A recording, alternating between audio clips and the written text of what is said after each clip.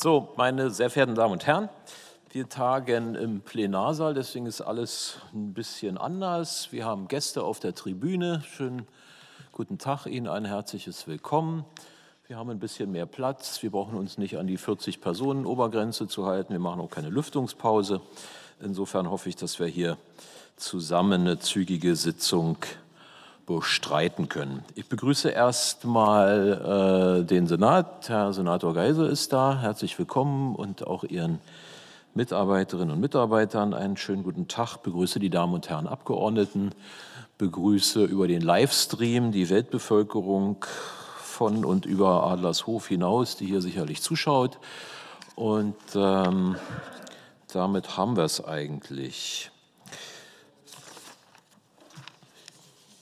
Es gibt einen Livestream, habe ich schon gesagt. Da, damit sind auch Presseaufnahmen möglich. Also wer hier was sagt, muss gewahr sein, dass das in Zeitungen erscheint, in Fernsehsendern gesendet wird und so weiter. Wir haben eine Tagesordnung vorliegen vom 7. Dezember 2022. Das ist hier eine Sondersitzung, die wurde einberufen, ähm, weil mehrere Mitglieder des Ausschusses äh, per Unterschrift dafür plädiert haben. Sie kennen das, da gibt es ein Quorum, das erforderliche Drittel des Ausschusses ist erreicht worden.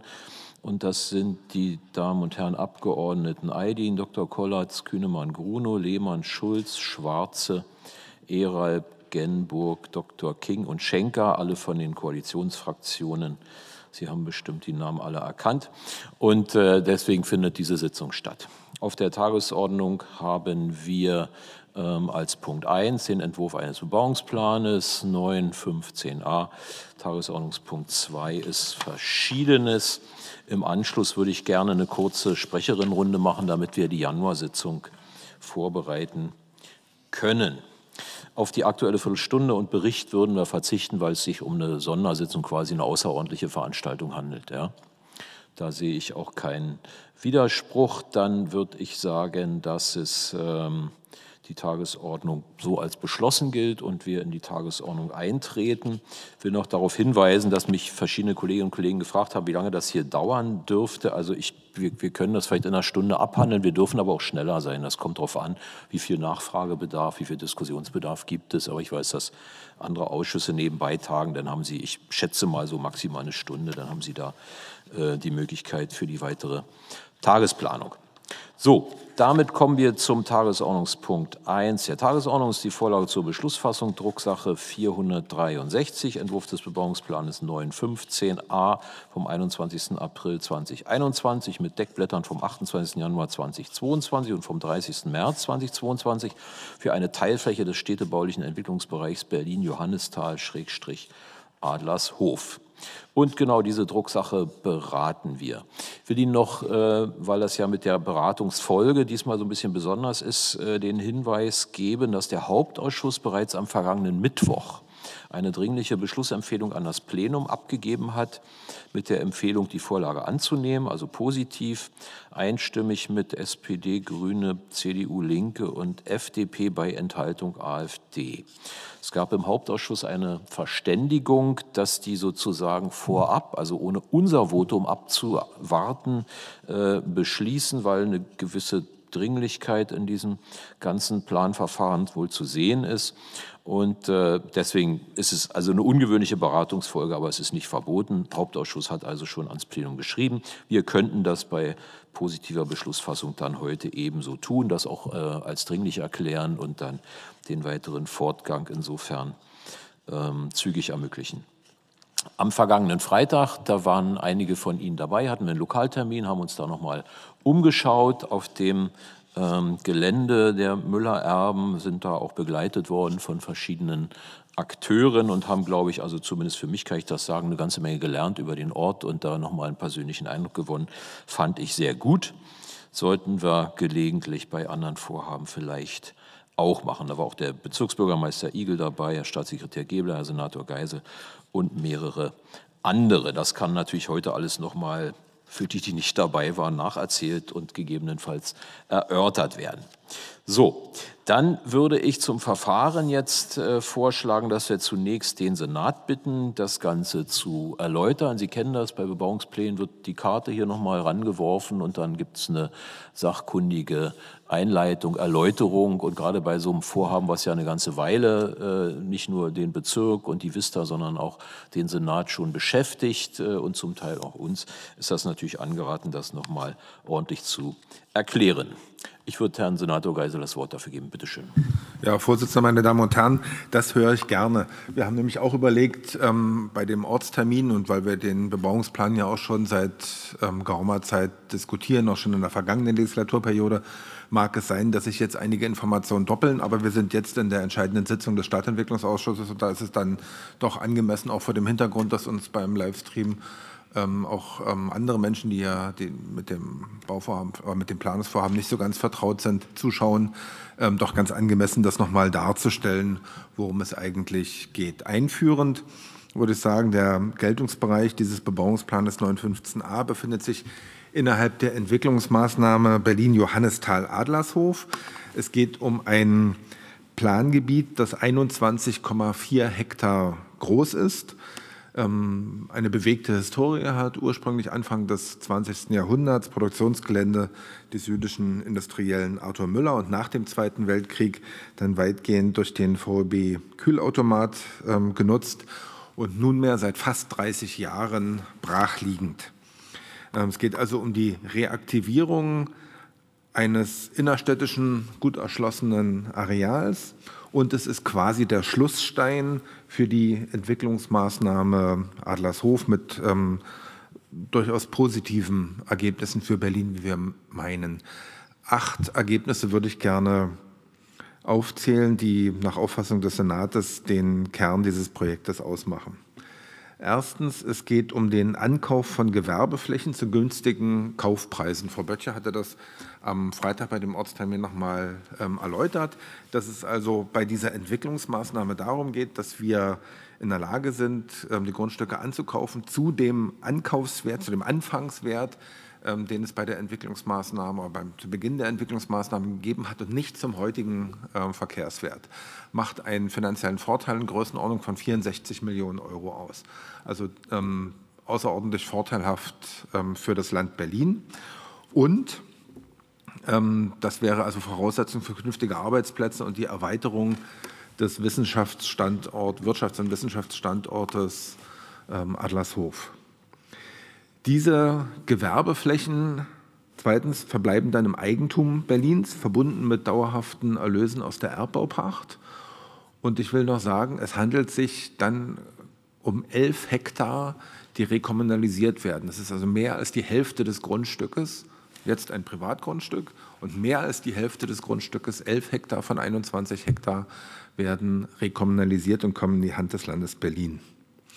Drittens, wir haben bei der Ortsbesichtigung am Freitag gesehen, dass es dringend erforderlich ist, einzelne Denkmale zeitnah zu sichern, damit überhaupt noch ähm, Denkmalsubstanz gesichert werden ähm, kann. Und Voraussetzung ist die Schaffung von Planungsrecht, dass wir jetzt dann Zugriff bekommen. Es ist höchste Zeit, ähm, dass das passiert.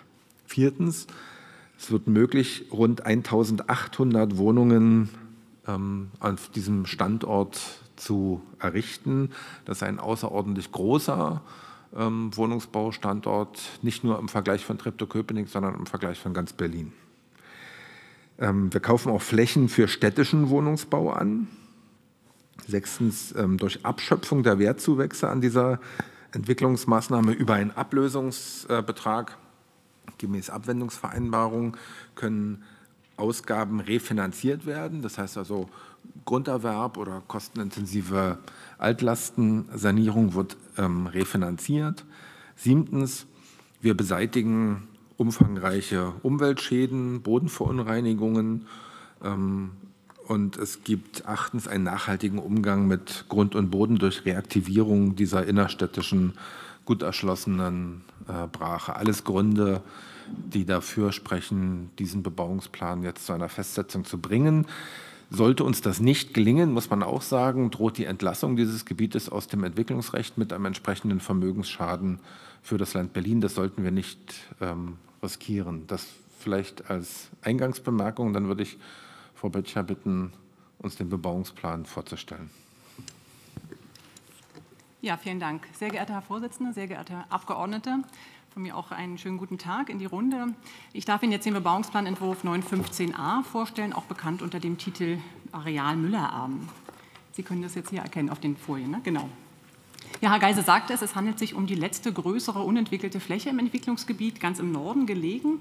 Ähm, für diejenigen, die draußen waren, ist es jetzt eine kleine Wiederholung, aber ich denke, das äh, machen wir jetzt doch noch mal an der Stelle, dass wir die Folie noch mal ähm, in aller äh, gebotenen Schnelligkeit durchgehen, um einfach den Rahmen noch mal für alle zu setzen und auch für die, diejenigen von Ihnen, die jetzt hier zugucken.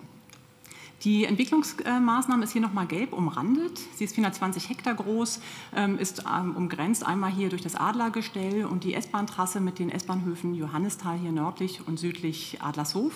Hier befindet sich dann auch die Ruder Chaussee, die Ihnen ähm, sicherlich bekannt ist. Hier sind auch die wichtigsten öffentlichen Nutzungen konzentriert. Die HU hat hier ihre Fachbereiche und auch der Kernbereich des Technologie- und Wissenschaftsstandorts ist hier situiert. Die, äh, ja, der südliche Bereich wird durch den Teltow-Kanal begrenzt und durch die Bundesautobahn.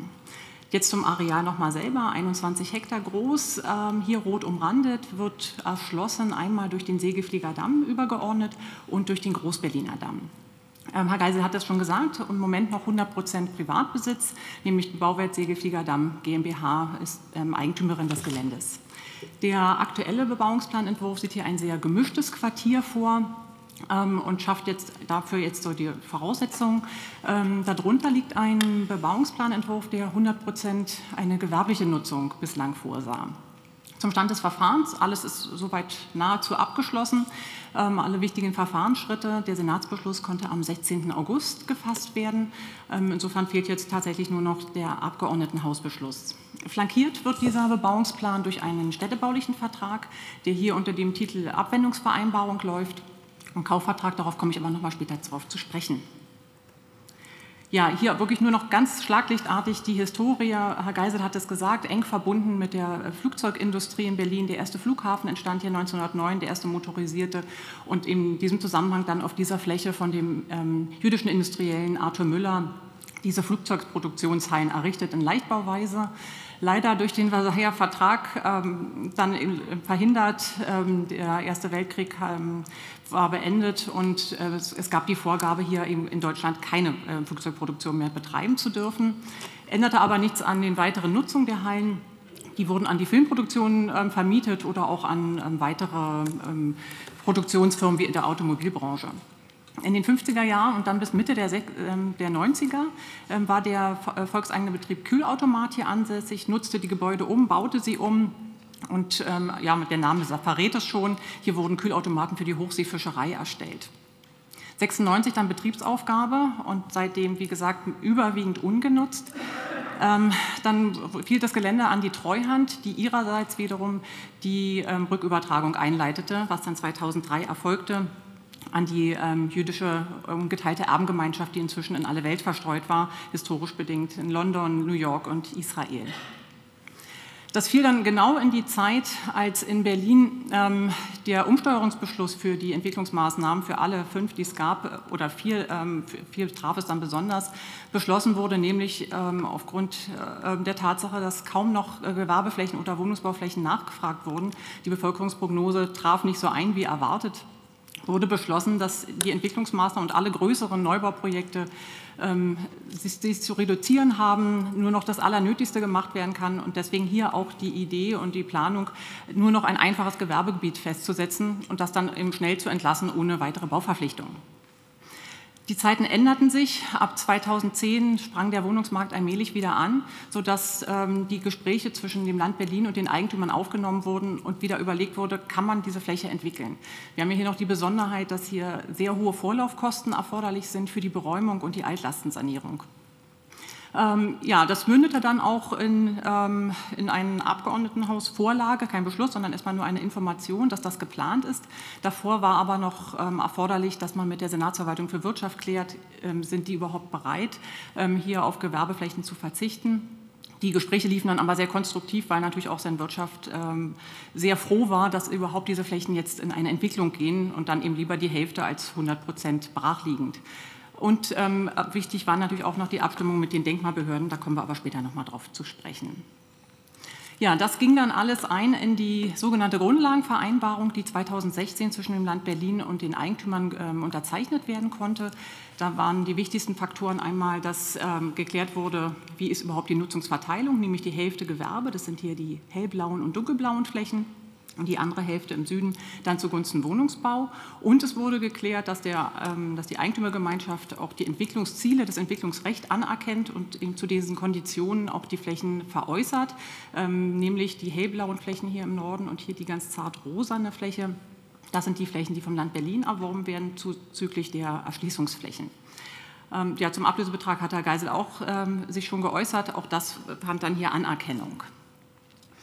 In der Folge wurden dann die Planungsziele, und jetzt kommen wir allmählich auch Richtung Bebauungsplan, ähm, äh, nochmal ähm, konzentriert zusammengefasst hier an der Stelle. Also um was geht es? Es geht um die Reaktivierung einer innerstädtischen Brachfläche, es geht um die Beräumung und die Altlastensanierung mit dem Ziel, dann hier 1800 Wohnungen ähm, umzusetzen und darunter eben auch einen ordentlichen Anteil am städtischen Wohnungsbau.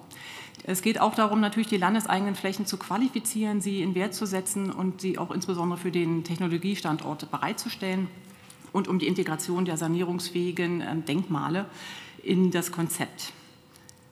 So, mit diesen Zielen startete dann ähm, das Gutachterverfahren, was zwischen dem Land Berlin und den Eigentümern ausgeschrieben wurde. Überzeugt hat dann von fünf Büros das Büro die FPB, Freie Planungsgruppe Berlin, und zwar aus mehreren Gründen. Einmal, weil sie hier vorsieht, eine funktionale und gestalterische Trennung zwischen dem Gewerbe hier im Norden und dem Wohnungsbau im Süden durch diese sogenannte Grünfuge herzustellen, die dann eben auch eine Verbindung zum Park aufnimmt und es damit auch möglich ist, eine Vernetzung zu den umliegenden Quartieren zu schaffen und diese eben ausschließlich für Fußgänger und Radfahrer vorzusehen.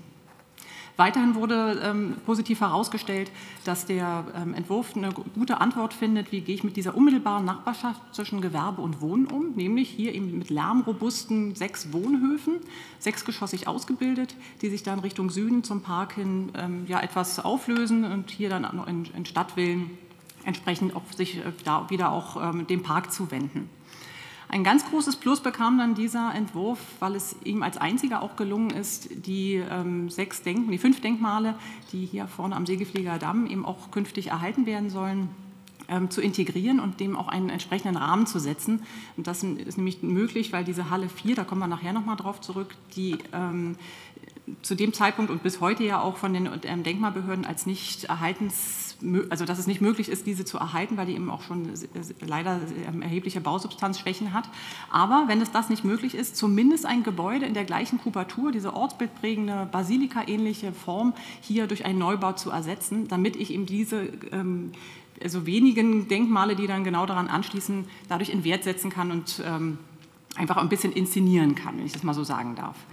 So, das ist quasi die Grundlage dann auch des Bebauungsplanentwurfs geworden. Das sieht jetzt hier, deswegen verweilen wir noch ein bisschen an diesem schönen Bild, denn jetzt kommt die technische Umsetzung. Das ist dann der Bebauungsplanentwurf 915a, so wie wir ihn hier heute besprechen wollen, wie er Ihnen vorliegt. Also ganz, ne, ich brauche das glaube ich fast gar nicht nochmal zu wiederholen. Sie sehen hier die vier Gewerbeflächen im Norden, im Süden acht ähm, allgemeine Wohngebiete. Wir haben uns ähm, entschlossen, die Kita und ähm, weitere öffentliche Nutzung hier auch in einem, im Rahmen einer Gemeinbedarfsfläche dann später festzusetzen. Es gibt jetzt Platz für ca. 1800 Wohnungen und für mehr als 150.000 Quadratmeter Geschossfläche Gewerbe. Ja, die äh, Verkehrswege, die erschließen sich, glaube ich, ganz gut. Das sind hier die gelben, das sind die öffentlichen Erschließungsstraßen, einmal die Gewerbestraße und die Wohnstraße, ergänzt durch zwei Privatstraßen. Eine Reihe von ökologischen Festsetzungen kommen wir gleich noch darauf zu sprechen. Und ganz wichtig hier für dieses ähm, Projekt, umfangreichste Lärmschutzfestsetzungen. Wenn Sie sich die Festsetzungen angucken, werden Sie sehen, das sind viele, die nötig sind, weil wir es hier gleich mit drei Lärmquellen haben, denen wir erarbeiten müssen und wo wir ähm, vernünftige Antworten für gefunden haben. Und zwar haben wir einmal den Gewerbelärm, der schon aus den umliegenden Gewerbegebieten kommt, also auch an der Gleislinse beispielsweise. Dann aus dem Gewerbelärm, den das Gebiet selbst produziert. Wir haben den Seegefliegerdamm, der auch für Verkehrslärm verantwortlich ist. Und ähm, dann auch noch eine Sportstätte hier im Süden. Ähm, es gibt also eine ganze Reihe an Lärmschutzfestsetzungen aus dem aktiven und passiven ähm, Bereich. Zu den aktiven gehören einmal eine Lärmkontingentierung für die ähm, vier Gewerbegebiete, die auch noch mit Richtungssektoren ergänzt wurden. Es ist eine Lärmschutzwand vorgesehen für die Kita ähm, dann zur Straße hin. Hm, das, was sich jetzt erstmal ein bisschen störend vielleicht anhört, es gibt dort aber auch schon ähm, eine Mauer, sodass man das sicherlich ähm, da auch mitspielen kann und das ergänzen kann, ähm, vor dem Hintergrund, dass der Außenbereich der Kita auch ähm, nutzbar bleibt oder wird vielmehr. Ja, dann auch eine Reihe noch an passiven Lärmschutzmaßnahmen. Das, äh, was wir sonst auch in vielen anderen Bebauungsplänen ja umsetzen, ist die Grundrissorientierung, also dass ähm, der Großteil der Aufenthaltsräume zur lärmabgewandten Seite ähm, sich orientiert. Und dann haben wir hier noch eine Besonderheit ähm, fürs WA 7 und WA 3 gefunden da gibt es eine Reihenfolge in der Bauabfolge, nämlich dass die zum Lärm hin orientierten Gebäudeteile, also einmal dieser hier und im WA3 dann dieser zur Straße hin, ähm, zuerst gebaut werden muss, zwingend, und erst dann ähm, darf, nee, Entschuldigung, das muss jetzt, nee, doch, war doch richtig. Das muss zuerst gebaut werden, genau, und dann kann ähm, der Bereich zur Straße hin auch ähm, umgesetzt werden. Ähm, Genau, das ist, ist, damit beantwortet worden. Und ja, es gibt an einigen Stellen dann auch die Notwendigkeit für geschlossene Laubengänge oder Lottchen oder Maßnahmen gleicher Wirkung. Aber ja, ich denke mal, das ist Ihnen auch bekannt aus anderen Bebauungsplänen, die wir hier schon vorgestellt haben. Ja, das Verfahren zur Trägerbeteiligung und ähm, frühzeitigen und zu den regulären Beteiligungsverfahren, da gab es natürlich eine Reihe von Hinweisen ähm, und Anpassungen, die ähm, wir aufgenommen haben in den Bebauungsplan. Es betraf unter anderem nochmal das Thema der Lärmschutzfestsetzung oder auch hier von der Senatsverwaltung für Verkehr kam nochmal der Hinweis, dass die ähm, Straße Segelfliegerdamm künftig nochmal aufgeweitet werden muss. Nicht als Folge dieses Bebauungsplanverfahrens, sondern das ist ohnehin in Planung gewesen. Das haben wir natürlich hier aufgenommen. Aufgenommen haben wir auch eine neue ähm, Grünfläche hier als Entree dann auch für die Grünfuge Richtung Park. Ja, jetzt kommen noch mal ein paar übergeordnete Themen, die sicherlich auch noch mal von Interesse sind. Fangen wir mal mit dem geförderten Wohnungsbau an. Wie gesagt, es sind ähm, ca. 1800 Wohnungen, die hier künftig entstehen. Davon dann im Landesbesitz ähm, 550, was einen Anteil von 30 Prozent ausmacht. Die verteilen sich dann wie folgt, nämlich einmal in diesem WA3, was vom Land Berlin gekauft wird und einer städtischen Wohnungsbaugesellschaft dann übertragen wird. Hier ist ein Anteil von 75 Prozent geförderter Wohnungsbau ähm, vorgesehen und ähm, jetzt durch die Diskussion auch in den letzten Wochen hat sich der Eigentümer noch mal bereit erklärt, 100 weitere ähm, Wohnungen schlüsselfertig zu errichten, die dann an eine städtische Wohnungsbaugesellschaft veräußert werden. Diese sollen dann auch zu 100 Prozent dem Geförderten zugeordnet werden, sodass wir insgesamt auf 440 Wohnungen rund ähm, kommen und damit einen 25-prozentigen Anteil gewähren. Ja, zur sozialen Infrastruktur, zur Kita ähm, hatte ich mich schon geäußert. Das sind, ähm, es wird eine Kita mit 130 bis 140 Plätzen sein, ähm, ergänzt dann nochmal durch eine weitere kleine Kita in dem WA3, was dann durch die städtische Wohnungsbaugesellschaft umgesetzt wird. Die Planung für die Schule ist schon gestartet worden. Also es ergeben sich aus dem Projekt heraus ein Bedarf von 216 Plätzen. Also wären anderthalb Züge. Geplant ist jetzt hier aber eine dreizügige Schule das B-Plan-Verfahren wird dann, also könnte dann fortgesetzt werden, wenn dieser Bebauungsplan hier zur Beschlussfassung kommt. Die Finanzierung soweit ist ähm, durch das Investitionsprogramm ähm, verankert worden. Verkehr und Erschließung, vielleicht nur noch hier der ähm, Satz dazu, dass wir neben dem ähm, MIV, den wir natürlich im Gebiet ähm, versorgen, auch ein straßenunabhängiges Fuß- und Radwegenetz ähm, schaffen möchten. Ähm, wir glauben, dass es hier vernünftig ist, ein autoarmes Quartier zu entwickeln. Wir haben hier eine ideale Anbindung an den ÖPNV, S, äh, dem S-Bahnhof Johannisthal, der ist fußläufig erreichbar, die Straßenbahn und wir haben auch ähm, eine ähm, Busstation genau vor dem Gebiet, also hier am Segelfliegerdamm befindet sich die Busfahrlinie. Insgesamt ähm, werden 4.360 Fahrten ähm, durch, das, durch die neue Entwicklung hervorgerufen. Wir konnten aber gutachterlich nachweisen, dass das insgesamt verträglich ähm, abzuwickeln ist. Ja, hier mal ein Blick auf, einen, auf den Regelquerschnitt der Wohnstraße. Also wir haben jeweils eine Einfahrt, also eine, einen Richtungsfahrtstreifen, dann im Wechsel Parkflächen und Regenwasserversickerungsflächen und dann doch sehr großzügige ähm, Gehwege mit jeweils 3,50 Meter. Zu den ökologischen Zielen, das kennen Sie auch alles aus Adlershof, das sind unsere fast schon standardisierten Festsetzungen. Selbstverständlich werden die, Dach, werden die Dächer extensiv begrünt, mindestens 50 Prozent. Ähm, was wir jetzt hier nochmal neu aufgenommen haben, ist auch eine Fassadenbegrünung. Das wird insbesondere für die ähm, Gewerbebetriebe von Interesse sein. Das Regenwasser soll vollständig versickert werden, auch das ähm, ein Standard in Adlershof. Ja, ähm, wir haben es mit einer Reihe von Arten- und Biotopschutz auf dem Gelände natürlich nach 30 Jahren Brache zu tun. Ähm, wir haben ein abgestimmtes Kompensationskonzept mit der unteren und oberen Naturschutzbehörde abgestimmt. Wir werden die Zauneidechsen, die sich ähm, jetzt auf dem Areal befinden, in den Landschaftspark in unmittelbarer Nachbarschaft verlagern, unterbringen. Der Fites ist relativ flächenintensiv, der findet dort kein Quartier mehr und wird in die Wohlheide umziehen müssen.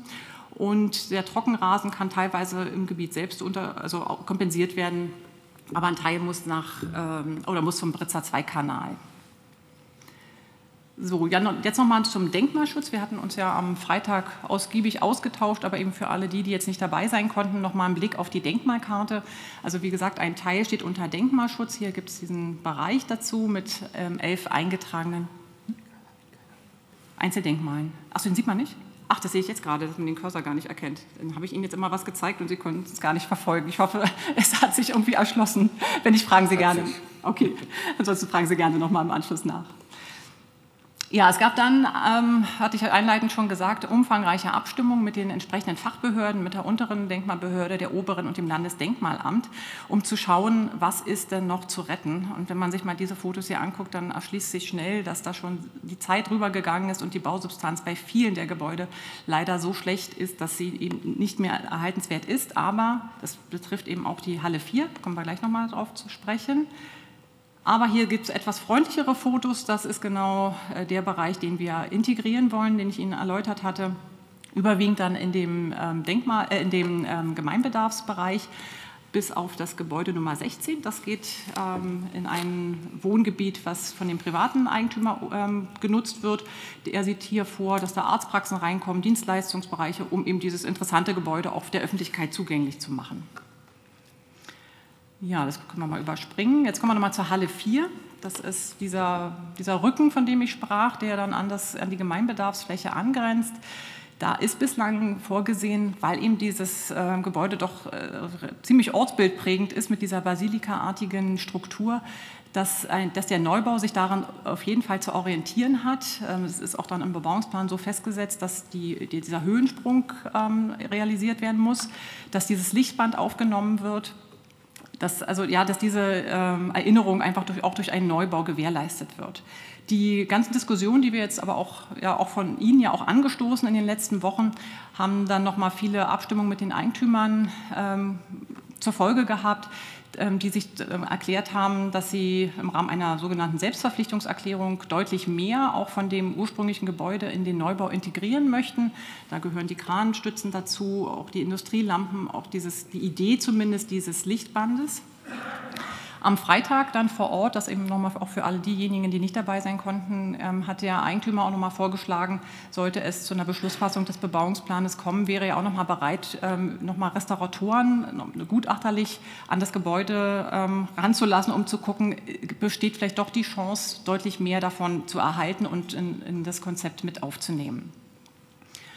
Ja, hier nochmal der Ablauf vom Bebauungsplan würde ich jetzt mal überspringen. Das können Sie gerne nochmal nachschlagen. Also was eben fehlt, wäre dann noch ähm, der Abgeordnetenhausbeschluss, ähm, der am 15. Dezember meines Wissens dann in diesem Jahr das letzte Mal tagt.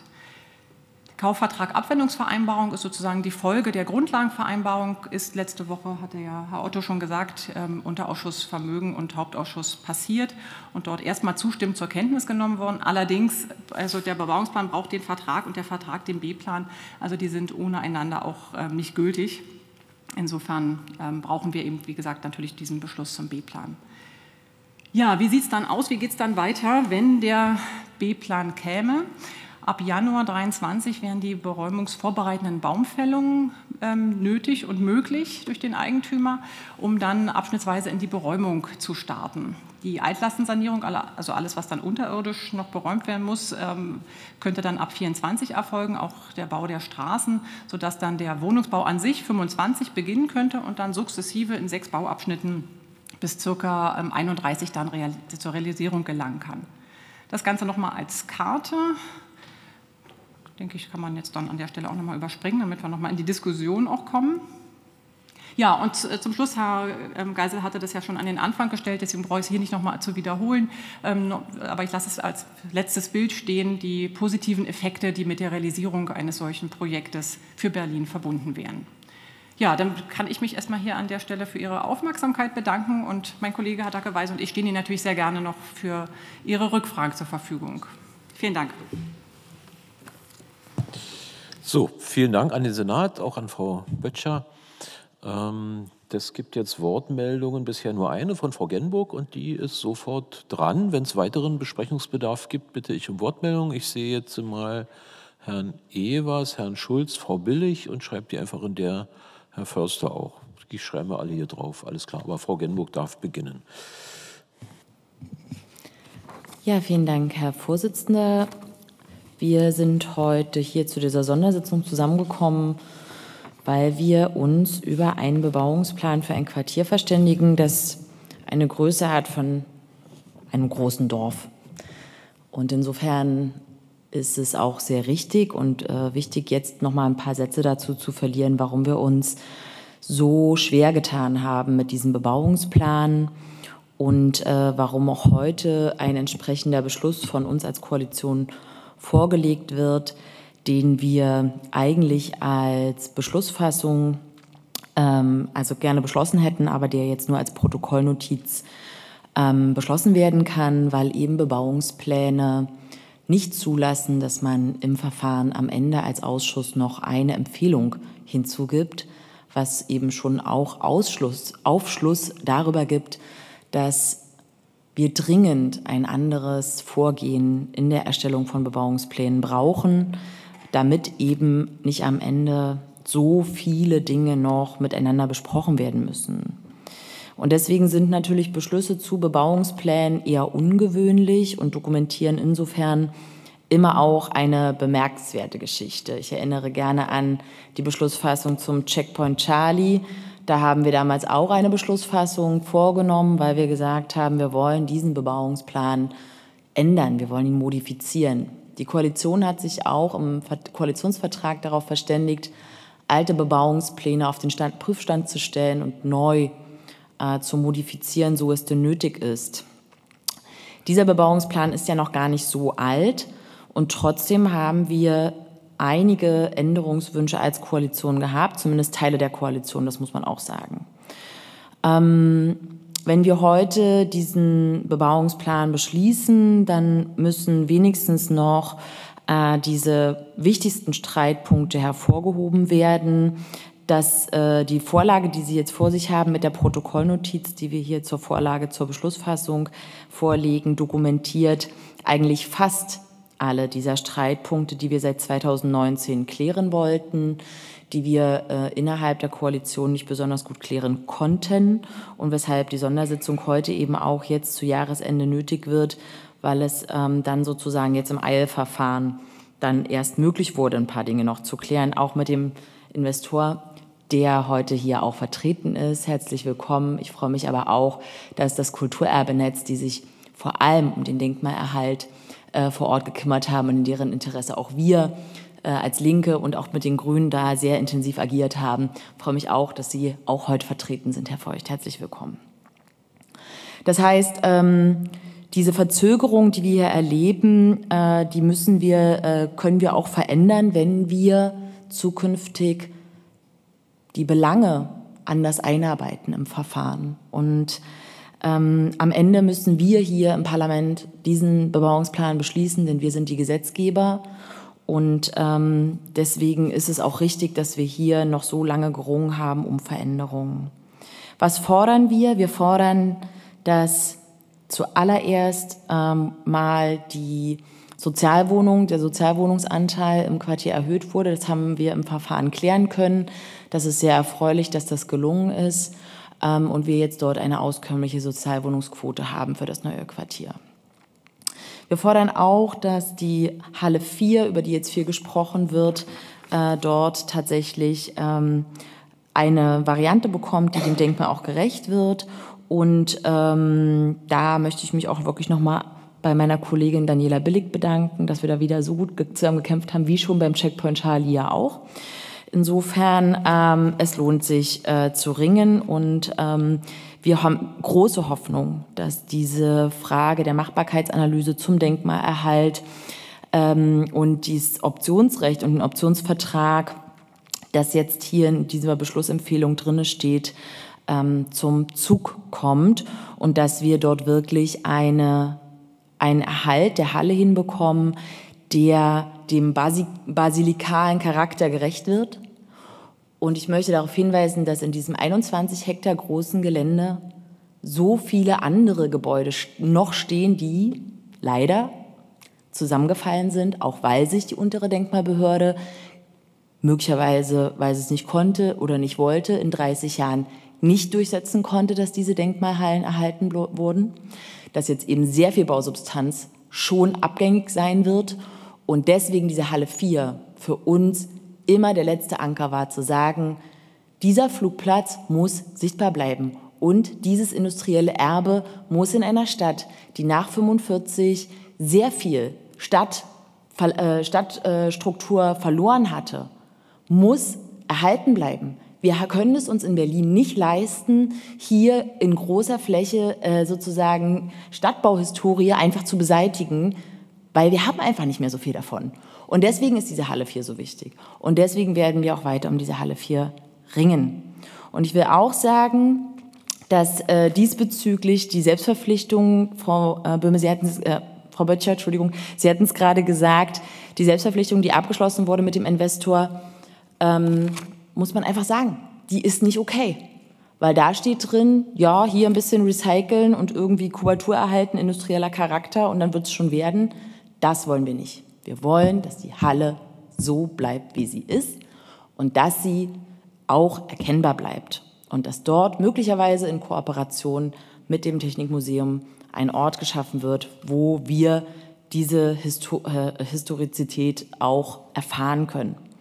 Und ich will auch als letzten Punkt noch sagen, worüber wir heute nicht äh, gesprochen haben, was auch die Zeit nicht zulässt, ist die Schulplatz- und die Kita-Versorgung. Ähm, es ist ein wirklich wichtiger Punkt, dass man in einem Quartier für 1800 Menschen eine gute Schulplatzversorgung hat. Wir haben darüber auch lange diskutiert und äh, es gibt die Zusage, dass dort die Schulplatzversorgung gesichert werden soll.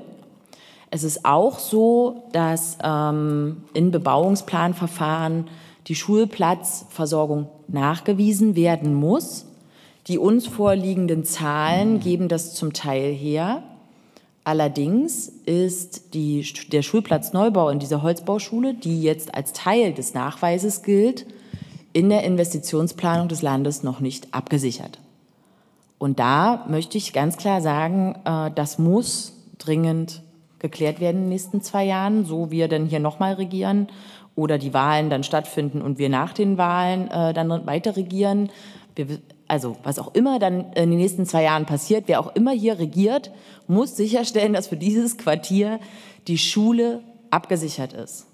Und insofern ähm, muss ich sagen, ist es wirklich gut, dass wir hier 1800 äh, für 1800 Menschen Wohnraum schaffen, dass wir dieses Quartier entwickeln, dass wir eine Fläche haben, die schon versiegelt ist, die wir weiterentwickeln können, dass wir in der Stadt weiterentwickeln können und nicht irgendwo auf der grünen Wiese.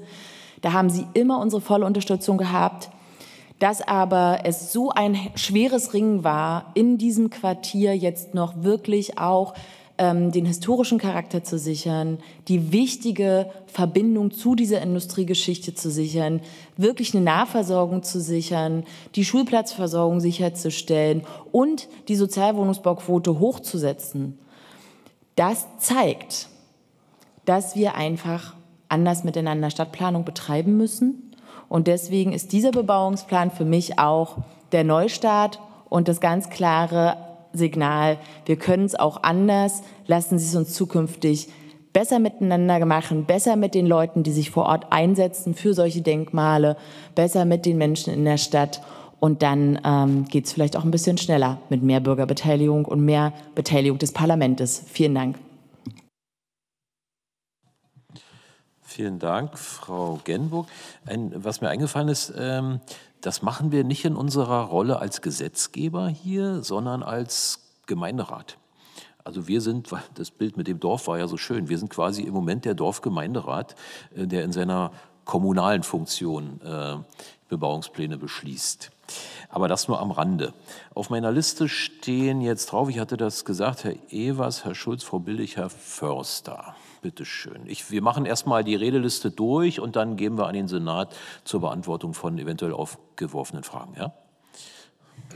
Vielen herzlichen Dank. Ich mache es sehr kurz. In der Tat diskutieren wir über den B-Plan ja schon eine äh, geraume Weile. Ich will nur deutlich machen, dass ich darin einen gelungenes Stück Quartiersentwicklung sehe, das wir uns sehr viel früher gewünscht hätten, weil ähm, was ja gewissermaßen einer der Schlusssteine in der Entwicklung Johannistals und Atlaszhofs ist, hätte ja längst eine Portalfunktion entwickeln müssen mit Blick auf die ähm, äh, Entwicklung des Quartiers. Ich glaube, es werden hier schon eine ganze Reihe von ähm, Schwächen deutlich besser äh, angegangen als in Teilen der Entwicklung Adlershofs selbst. Das hatten wir auch im Vororttermin an einem Punkt ja kurz am Rande diskutiert, als eine Dame sagte, ja Mensch, das sei ja gelungene Quartiersentwicklung dort, während ich sage, okay, da fehlt genau das, was wir hier ja mitplanen, das Kiezzentrum, die ähm, Urbanität. Und insofern würden wir uns freuen, wenn es hier keinen weiteren Verzug gibt. Wir als äh, Parlament dazu grünes Licht geben. Für die CDU-Fraktion kann ich das zusagen.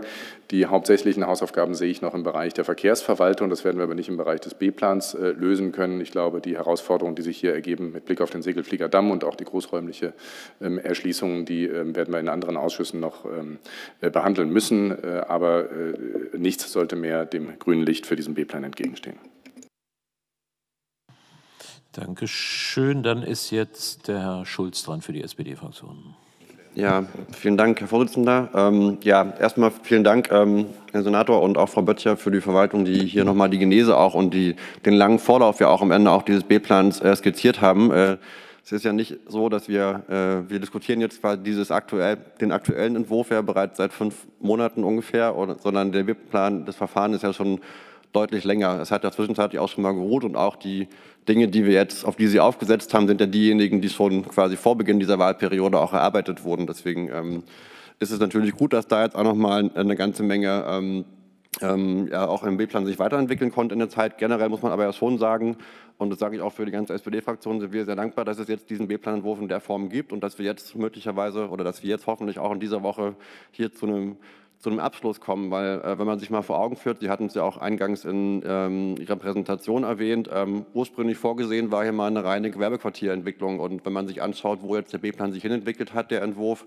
dann anerkennt er auch die Realitäten, die wir, die wir, die wir hier jetzt eben in Berlin haben. Und ähm, die sind natürlich einerseits, haben wir auf den Zahlen schon gehört, 150.000 Quadratmeter Gewerbefläche, aber eben auch 180.000 Quadratmeter Wohnfläche, äh, die hier realisiert werden sollen, weil klar ist, dass wir ein einen exorbitant gestiegenen Bedarf an Wohnraum haben, der hier, hier erfüllt werden muss. Ist ja auch durch die aktuelle Bevölkerungsprognose, die aus dem Haus kommt, äh, jetzt nochmal bestätigt worden, dass wir tatsächlich ja den Wohnraumbedarf haben. Insofern sind eben die 1800 Wohnungen, die hier realisiert werden können, ähm, auf jeden Fall ein, ein, ein, ein sehr guter Beitrag, auf jeden Fall, um das äh, zu realisieren. Ähm, 450 geförderte Wohnungen ähm, erfüllen auf jeden Fall die Sachen, die wir miteinander ja auch vereinbart haben, die wir haben wollen in den Quartieren in dem Sinne sind wir da auch sehr dankbar, dass ähm, der Entwurf äh, das äh, hier dementsprechend abbildet. Und ähm, ja, wir, genau, wir hatten ja auch eine ganze Reihe von Terminen auch vor Ort, auch gemeinsam mit dem Bauträger, mit Bauwert, die uns dankenswerterweise auch über alle, über alle Überlegungen und Planungen, die sie hatten, mit dem äh, und das Geschichtsbewusstsein an dem Standort sozusagen auch informiert haben, was die Überlegungen sind, wie man mit den bestimmten Gebäudeteilen umgeht und so weiter und sind ähm, deswegen ähm, glaube ich jetzt auch auf, auf, einem sehr guten Weg, wie man ähm, das Geschichtsbewusstsein an diesem Ort auch erhalten kann, indem man ähm, jetzt nochmal sich auf die Halle 4 ähm, am, am, Freitag ja auch nochmal fokussiert hatte und auch ja in der Protokollnotiz, die wir heute auch miteinander verabschieden wollen, die ja auch nochmal ähm, die enthält.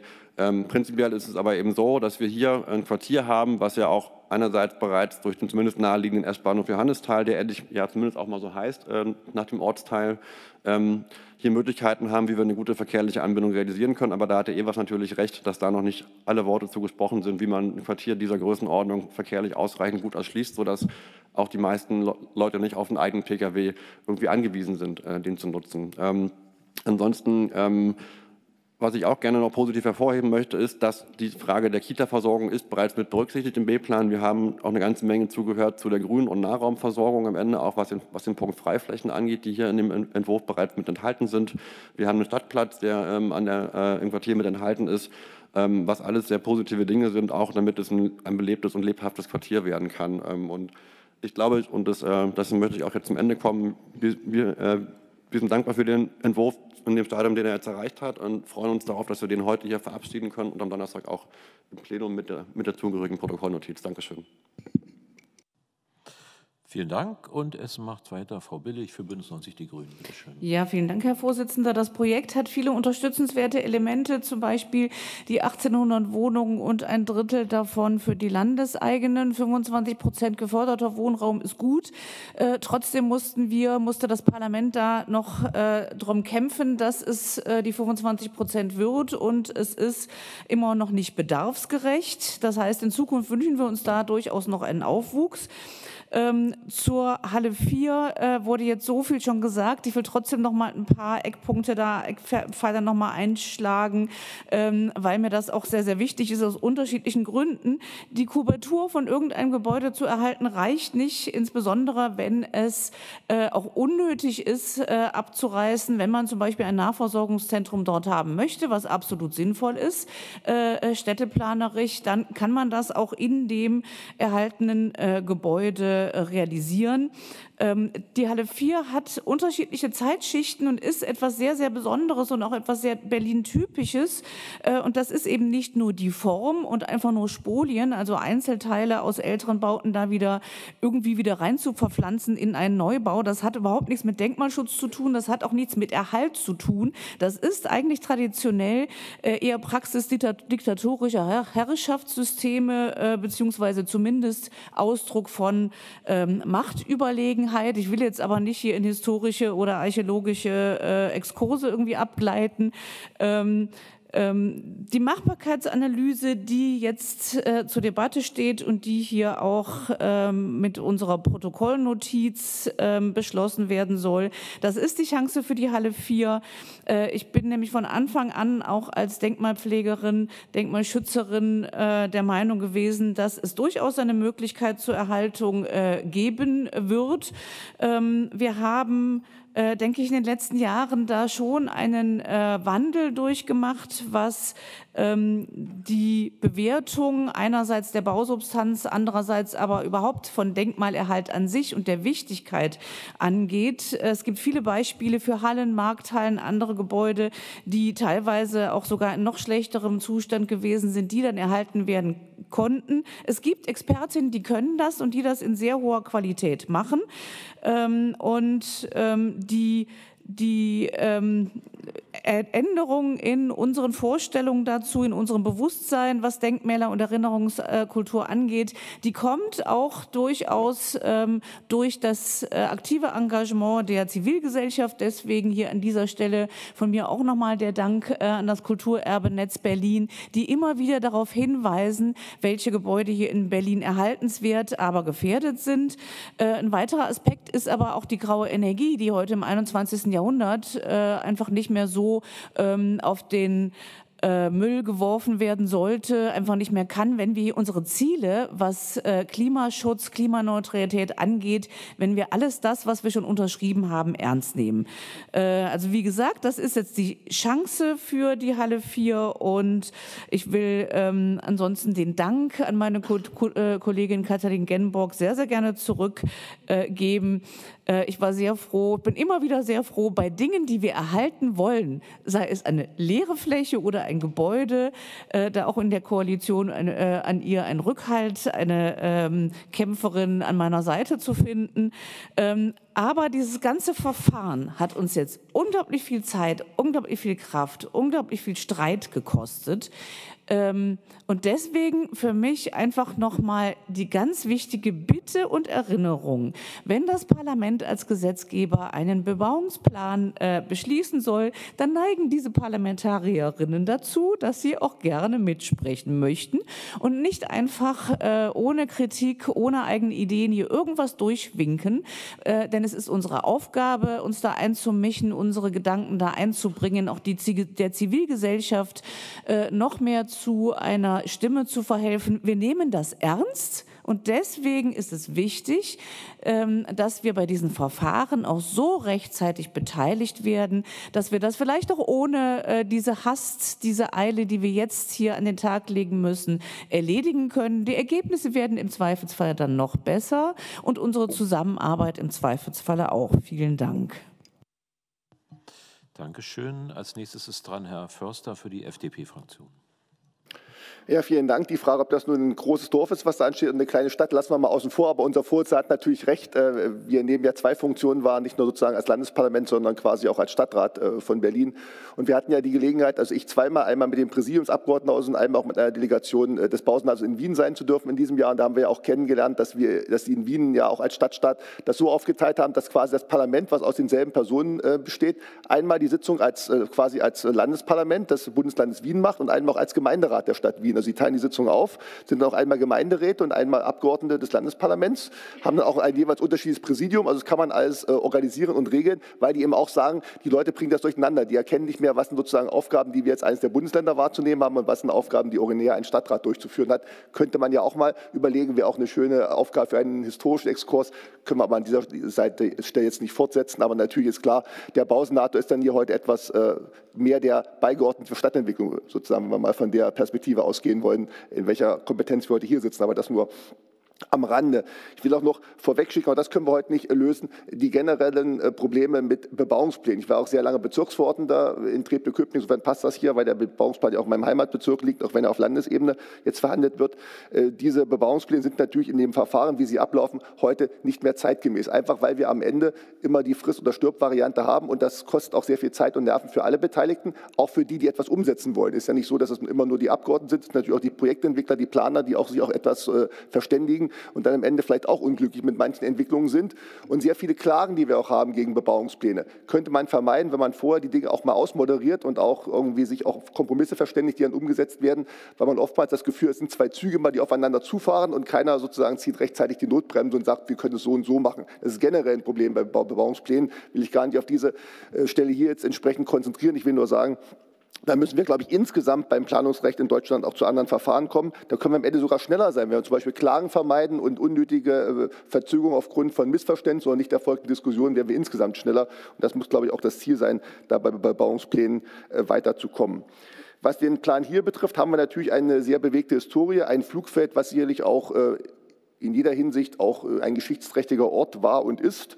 Und wir haben natürlich auch leider 30 Jahre Verfall äh, nach dem Mauerfall und nach der deutschen Einheit, wo eben auch die Behörden nicht eingeschritten sind. Das ist richtig, da haben auch die Denkmalschutzbehörden versagt, Land und Bezirk. Und die, viele, die vielen Probleme, die wir heute diskutieren, sind entstanden, bevor der jetzige Eigentümer das Grundstück erworben hat und die Gebäude sind verfallen, bevor man eben sozusagen über diesen jetzigen Pläne geredet hatten. Das hätte man natürlich in den 90er Jahren, 2000er Jahren auch aufhalten müssen. Man hätte natürlich mit Ersatzvornamen und Ähnlichem da auch durchgreifen können und entsprechend auch äh, Denkmal erhalten können. Das ist aber alles ein bisschen verschüttete Milch. Stand 2022. Ich will es aber nur anmerken, wir hatten das ja auch im Bezirksdenkmalrat äh, Treptow-Köpenick unter meiner Leitung im letzten Wahlperiode auch mehrfach diskutiert, dass wir da auch eigentlich insgesamt recht unzufrieden waren, was in den 90er und 2000er Jahren da passiert ist auf dem Gelände. Ich will das hier gerne noch mal zu Protokoll geben, damit das auch nicht in Vergessenheit gerät. Aber wir müssen eben jetzt mit dem umgehen und mit den Bestandteilen leben, die auch entsprechend vorhanden sind. Und da kann eigentlich es nur darauf hinauslaufen, dass man am Ende eben ein modernes äh, Stadtquartier schafft, auch mit einer eigenen Charakteristik, mit Urbanität, was ja auch äh, die Bauwert zugesagt hat und was ja auch an anderen Stellen der Stadt zeigt, dass sie das entsprechend kann. Und wenn man am Ende dort eben auch ein lebendiges Quartier schaffen will, dann muss es eben auch eins sein, wo Senioren, Studenten genauso leben können, wie es dort Ärzte gibt und auch Geschäfte angesiedelt sind, was ja auch geplant ist. Und ich glaube, am Ende ist uns allen daran gelegen, dass wir keine Schlafstadt bekommen, sondern eben ein Quartier der kurzen Wege, wo die Leute sich auch entsprechend wohlfühlen, wo sie einkaufen können, wo sie leben können, wo sie auch sich miteinander austauschen können, wo sie Gemeinschaftsflächen haben. Und das wird es ja hoffentlich äh, an der Stelle auch geben. Ich will äh, auch darauf hinweisen, dass wir eine ganze Reihe von Themen auch haben, das auch schon adressiert worden, die wir im Rahmen des Bebauungsplans nicht lösen können. Die Thematik der Schuhe, der Schulen, der Kitaplätze ist angesprochen worden. Ich war auch jetzt die Prognose, dass wir am Ende erst die Leute dort wohnen haben mit den Kindern und dann die Schulen, Kitaplätze fertig sind. Das ist immer so im Land Berlin, wird auch hier nicht anders sein. Ich, auch das gebe ich etwas wenig hoffnungsvoll zu, zu Protokoll, aber auch da kommt man vielleicht mal künftig zu schnelleren Verabredungen. Hat das Bezirksamt Treptow-Köpenick auch seinen Anteil, was den Schulstandort ja auch entsprechend entwickeln muss und was da auch jetzt hoffentlich mal auch äh, aus dem Knick kommt und da entsprechend auch äh, schneller vorangeht. Auch das wäre wünschenswert. Das Thema autoarmes Quartier, was angesprochen wurde. Wir haben jetzt letzte Woche wieder gehört, dass die Zulassungszahlen der Autos in dieser Stadt weiter gestiegen sind. Und insofern ist das mit dem autoarmen Quartier mal das, was von Teilen der Politik gewünscht wird, aber meistens, meistens auch mit der Realität nicht irgendwie in Einklang zu bringen ist. Deswegen finde ich es auch erstmal gut, dass wir die Zusage haben, dass auch mit flexiblen Möglichkeiten von Tiefgaragen, von Quartiersgaragen und Ähnlichem da gearbeitet werden kann. Und man kann dann nach den jeweiligen Bauabschnitten eben auch gucken, reichen diese 0,7 als Stellplatzfaktor aus? Braucht man weniger, braucht man mehr? Das hat der Investor ja auch zugesagt, dass er da entsprechend flexibel darauf reagieren wird. Das finde ich auch gut, weil wir am Ende bedarfsgerechte äh, Parkplätze haben wollen und bedarfsgerechte Stellmöglichkeiten und nicht, dass nachher die Leute im öffentlichen Straßenland der anderen Straßen parken oder die Versicherungsmulden zuparken, wie wir es ja auf dem Vista-Gelände so oft äh, gesehen haben. Das wäre, glaube ich, die schlechteste Variante äh, insgesamt. Und wenn man jetzt darauf noch schaut, was kann man erhalten, ist das natürlich äh, mit der Halle 4 auch in diesem Auflagenbeschluss in der Protokollnotiz nochmal festgehalten. Dann ist aber auch klar, wenn man das entsprechend umsetzen will, dann äh, muss das Land Berlin gegebenenfalls auch in der Pflicht sein, die Halle zu übernehmen. Das ist ja auch äh, die Thematik, dass wir jetzt 4.600 Quadratmeter in der Bestandskubatur haben und 8.100 Quadratmeter Geschossfläche ja geplant äh, waren bei dem Neubau, der sich an der historischen Kubatur orientieren soll wenn es Möglichkeiten und Wege gibt, die historische Kubatur zu erhalten. Das soll ja nochmal ausdrücklich geprüft werden, was ich gut finde. Dann muss am Ende gegebenenfalls auch das Land Berlin sagen, äh, wo ist die Fläche dann auszugleichen, die dort entsprechend nicht äh, weiter hinausgebaut werden soll oder die entsprechend dort nicht hinzukommt. Und wie kann man das lösen? Das ist sicherlich noch eine Aufgabe, die auch zu klären ist, aber es ist erstmal aller Ehren wert, auch noch einmal zu prüfen, wie kann die Halle halten bleiben. Ich glaube, das dient dann auch einer konsensualen Beschlussfassung des Bebauungsplans heute, den wir dann am Ende auch wollen. Und das ist auch, glaube ich, ähm, nicht zu verachten. Ich will auch äh, darauf hinweisen, dass natürlich die geschichtliche Bedeutung, aber auch das ist, glaube ich, zugesagt und wird auch kommen, des Bebauungsplans äh, sich auch in der Gestaltung vor Ort widerspiegeln muss. Das ist nicht nur eine Ausstellung oder Informationstafeln zum Flugplatz, gerne auch zu VLB Kühlautomat. Auch die Geschichte zu DDR-Zeiten ist ja eine, die über Jahrzehnte dort auch mit der Bevölkerung und dem Leben vor Ort verbunden ist. Aber es kann sich natürlich auch gerne in der Darstellung zum Beispiel von Spielgeräten auf Spielplätzen widerspiegeln und, und ähnlichem. Da könnte man ja auch äh, entsprechend Spielgeräte finden, die Anleihe an den Flugplatz nehmen und so weiter. Ich glaube, da gibt es viele Möglichkeiten der Stadtentwicklung und der Stadtgestaltung, die man da auch entsprechend ähm, auch äh, mit einbeziehen kann. Letzte Bemerkung noch zur Protokollnotiz, die man von mir aus gerne so beschließen kann. Ich weiß gar nicht, ob das Gesamtvorhaben im Baukollegium so gut aufgehoben ist, wenn wir im Augenblick vor dem Hintergrund der Diskussion um das Baukollegium darüber reden, dass sie dort hinter verschlossenen Türen irgendetwas sozusagen auskugeln. Man kann das Baukollegium ins Auge fassen. Ich glaube aber, uns wäre auch durchaus geholfen, wenn wir in einer weiteren Sitzung auch dieses Ausschusses über den aktuellen Stand informieren lassen. Gerne auch, ich glaube, da ist Herr Leibfried auch offen, gerne auch ähm, mit den Eigentümern gemeinsam, wenn die entsprechenden Entwürfe vorliegen, da auch mal so eine Art ähm, Sitzung äh, machen, wo wir die Entwürfe mal kritisch diskutieren, mal unsere Meinung dazu sagen. Also es muss ja nicht unbedingt immer nur darum gehen, baut man mit Ziegel, baut man mit Holz, aber es geht ja auch darum, welche Kubaturen nimmt man, äh, wie sind die Gebäude ausgerichtet, auch die Verhältnisse von Freiraumflächen zu den Gebäuden und so weiter spielen ja immer eine Rolle. Die weitaus größere Sorge mache ich mir ehrlicherweise bei der DGWO, bei der städtischen Gesellschaft, die in der Regel ja quadratisch äh, äh baut, ja, äh, aber eben nicht gut. Das ist ja dieses übliche Problem, quadratisch praktisch, aber nicht gut. Und deswegen haben wir da auch natürlich ein Problem, dass wir da keinen Qualitätsabfall haben wollen. Und wir haben ja auch eine Fläche für Gewerbebauten. Auch darauf weise ich gerne hin das ist jetzt hier in der Passage des Baukollegiums gar nicht drin, wenn auf dem Gelände auch noch äh, Platz für Gewerbe vorgehalten wird im Rahmen des B-Plans. Gewerbe sind auch meistens etwas ähm, einfältige Blechhallen, die dahingestellt werden. Also auch da muss man aufpassen, dass sie natürlich auch so gestaltet werden. Sie müssen keinen Architekturpreis gewinnen, aber sie müssen natürlich auch zu den Wohngebieten, die angrenzend sind, entsprechend irgendwie korrespondieren und müssen da auch, äh, müssen da auch einen Bezug haben. Und das sollte dann zumindest auch an der Stelle sichergestellt sein. Und ich möchte mich zum Schluss nicht, weil ich es als Pflichtübung empfinde, sondern weil ich es wirklich so meine, durchaus auch beim Senat insbesondere auch bei Frau Böttcher bedanken, die ja immer mit viel Langmut und viel auch Liebe zum Detail diese Bebauungspläne bearbeitet. Ich glaube, das war jetzt ihr schwierigster, sowohl vom Umfang her als auch sozusagen von der Debatte, die Sie auch mit entsprechend bestreiten mussten. Insofern herzlichen Dank. Ich glaube, am Ende ist das auch eine Aufgabe, die dann wichtig war und notwendig ist. Bei allen Diskussionen, die das Parlament sich natürlich auch immer vorbehält und das natürlich am Ende auch das letzte Wort haben sollte. Vielen Dank. Dankeschön, Herr Förster. Jetzt habe ich noch Herrn Düsterhöft für die SPD-Fraktion auf meiner Liste. Er ist der Letzte, dann würden wir den Senat äh, bitten und wenn dann keine weiteren Wortmeldungen sind, dann würden wir abstimmen. Ne? Bitte schön, Sie haben das Wort.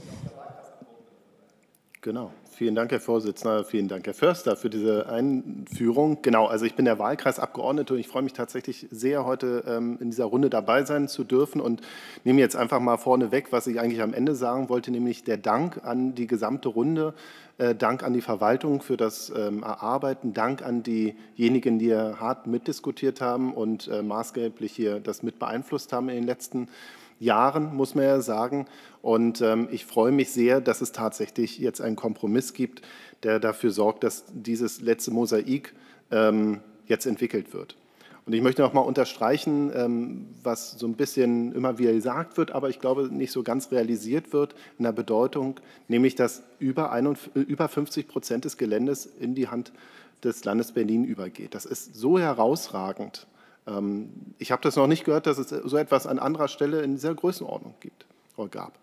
Und äh, dass das Land Berlin es hinkriegt, an dieser Stelle also wieder die Hand drauf zu kriegen auf ein Gelände, was so wichtig ist für den gesamten Kiez und es auch dann noch hinkriegt, ähm, dort insgesamt dann 550 landeseigene Wohnungen ähm, gebaut zu bekommen, beziehungsweise selbst bauen zu dürfen, ist herausragend gut. Und dann kann man sich natürlich immer mehr wünschen und auch ich wünsche mir sofort äh, 100 Prozent städtischen Wohnungsbau an der Stelle.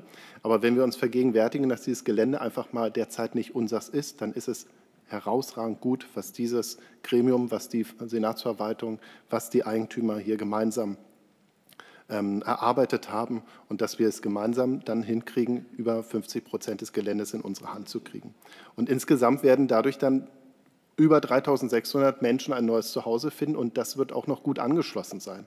Da möchte ich auch noch mal daran erinnern, dass es ja ein Gesamtpaket ist, was man dort äh, sich anschauen muss. Die Straßenbahn wurde erst vor kurzem verlängert. Das ist ja eine ganz wichtige Anbindung, um auch diese äh, 1800 Wohnungen gut anzuschließen. Der Bahnhof Johannisthal hat einen immerhin provisorischen Zugang jetzt bekommen, nachdem er früher ähm, Betriebsbahnhof Schöneweide hieß.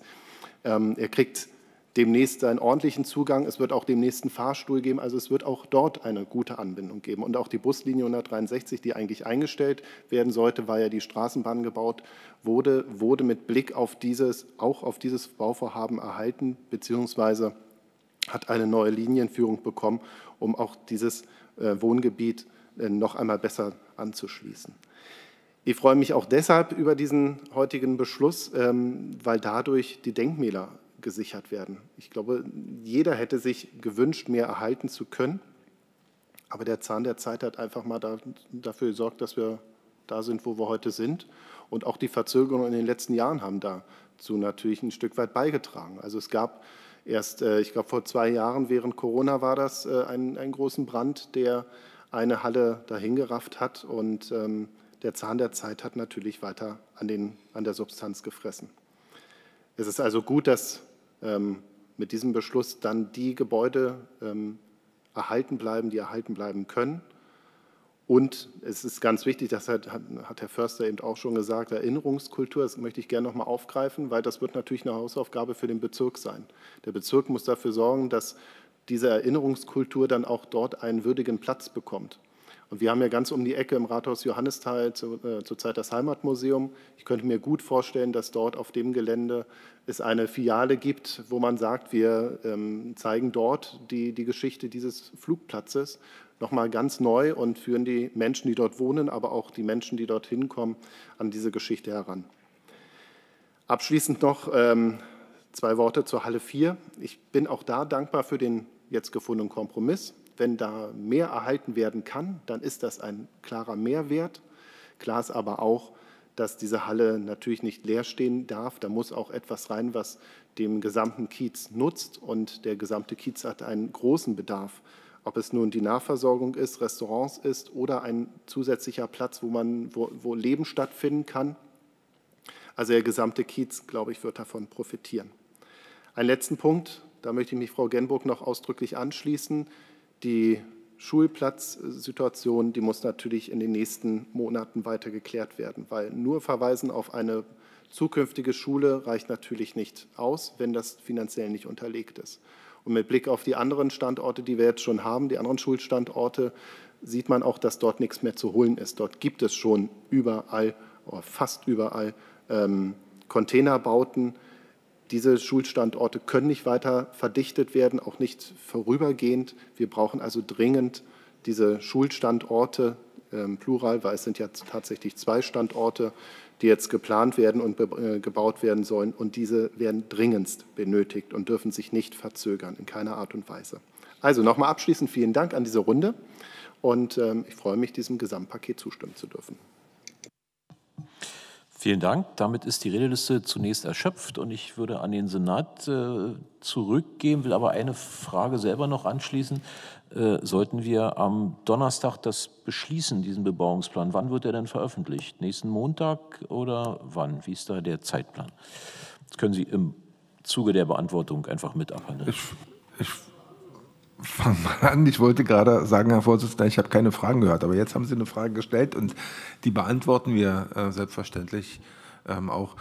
Ich würde bloß noch mal die Gelegenheit nehmen, in die allgemeinen Dankesworte und auch speziellen Dankesworte, die hier gesprochen worden sind, auch die Bauwert und die DGWO einzubeziehen. Auch für die war es nicht ganz leicht. Die hatten ja in der vergangenen Legislaturperiode bereits einen abgeschlossenen Abwendungsvertrag, in dem stand, dass das Land Berlin keine weiteren Forderungen hat. Und insofern war die Veränderung des Bebauungsplanes, die wir und des ähm, Vertrages, die wir jetzt in diesem Jahr ähm, dann nochmal realisiert haben, auch für die eine Überraschung und nicht ganz einfach zu bewältigen, dass ähm, also auch an dieser Stelle das Verständnis da war, dass wir gemeinsam ein gutes Projekt ähm, erstellen müssen, ist, ähm, denke ich, wirklich sehr in Ordnung und trägt jetzt auch dazu bei, dass wir hier eine entsprechende Beschlussfassung vornehmen können.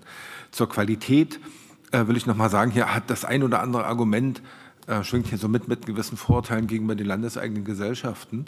Äh, deswegen sei noch mal ausdrücklich gesagt, ähm, unser Ziel bei der Qualität, ähm, bei der Bauqualität auf dem Grundstück ist, dass man den Gebäuden nicht ansieht, wer der Eigentümer ähm, ist. Und so ist es auch entsprechend ähm, verteilt. Ähm, und um das zu sichern, werden wir ein Wettbewerbsverfahren finden. Ähm, und zwar ähm, gemeinsam ähm, zwischen Senatsverwaltung, Bezirk und dem jeweiligen Bauherrn, um das also auch entsprechend abzusichern. Und jetzt noch zu der Frage, wann die Veröffentlichung im Amtsblatt erfolgt. Genau, ganz so schnell sind wir dann nicht, aber wichtig ist erstmal trotzdem die Beschlussfassung, ähm, weil daran hängen ja auch die Verträge. Also die Verträge sind dann wirksam, wenn der B-Plan vom Abgeordnetenhaus beschlossen ist, dann hat er ja auch die äh, gesetzliche Planreife.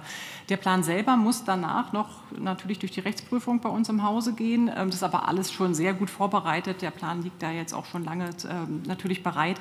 Die haben auch schon angefangen, ähm, sodass wir jetzt davon ausgehen, im ersten Quartal 2023, ich tippe mal so, Februar, äh, März wird ja dann festgesetzt werden können und dann äh, auch kurz danach äh, veröffentlicht werden. Genau.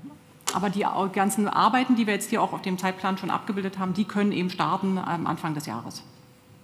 Sind unabhängig von der Festsetzung zu sehen. Gut, vielen Dank. Dann wissen wir darüber jetzt auch Bescheid. Ähm, Gibt es noch weitere Wortmeldungen? Das ist nicht der Fall. Dann könnten wir jetzt in die Abstimmung eintreten. Wir stimmen zunächst ab über die Drucksache 463. Wer dieser Drucksache seine Zustimmung geben möchte, müsste sich bitte jetzt melden.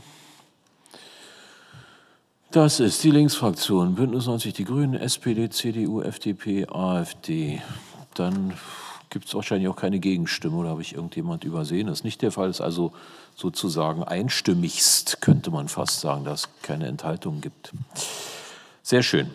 So, dann haben wir zu befinden, ob wir das Ganze dringlich machen. Ich gehe mal davon aus, da auch der Hauptausschuss ja äh, an das Plenum geschrieben hat und hier für eine Dringlichkeit äh, votiert hat, äh, sind wir uns da einig drüber oder müssen wir es abstimmen? Alle mit einverstanden, sehe ich. Dann haben wir einvernehmlich hier die Dringlichkeit festgestellt. So, dann müssten wir abstimmen über die eingereichte äh, Stellungnahme oder beziehungsweise Protokollnotiz der Koalitionsfraktionen. Die kam jetzt in verschiedenen Redebeiträgen vor, ist auch verschickt worden, war allen vorher bekannt. Wenn wir die beschließen, würden wir die sozusagen im Protokoll als Beschluss dieses Gremiums ähm, aufnehmen. Ja, so ist die Wirksamkeit dann auch. Ähm, Gibt es dazu noch Redebedarf? Hatten wir nicht. Dann stimmen wir einfach über diese Protokollnotiz ab. Und äh, ich bitte um Handzeichen, wer dafür ist, dass wir das so beschließen. Auch hier sehe ich Linke, Bündnisgrüne, SPD, CDU, FDP, AfD. Auch das ist einstimmig mit allen Fraktionen beschlossen. Dann haben wir den Tagesordnungspunkt 1 auch schon abgearbeitet. Herzlichen Dank. Tagesordnungspunkt 2 ist Verschiedenes. Da würde ich Sie darauf aufmerksam machen, dass wir die nächste, das ist dann die 18. Sitzung am 16. Januar 2023 planen. Das ist auch die letzte vor der Wiederholungswahl oder Wahlwiederholung. Das muss uns nicht schrecken.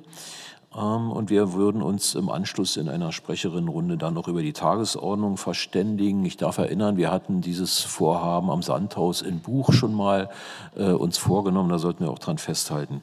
Gibt es verschiedene Dinge Ihrerseits noch zu bemerken unter diesem Tagesordnungspunkt? Das ist nicht zu sehen. Dann würde ich die Sitzung schließen und Ihnen allen noch einen schönen Montag wünschen. Wir sehen uns ja die Woche sicherlich noch gehäuft, spätestens am Donnerstag, aber vielleicht auch davor in verschiedenen Ausschüssen. Also vielen Dank für Ihre Teilnahme. Ähm, bedanke mich auch bei den Gästen, dass Sie hier unsere Arbeit so interessiert begleitet haben und äh, schließe damit die Sitzung. Äh, der Livestream kann abgestellt werden und dann bleiben wir einfach die Sprecherinnen und Sprecher, die da teilnehmen wollen, sitzen zur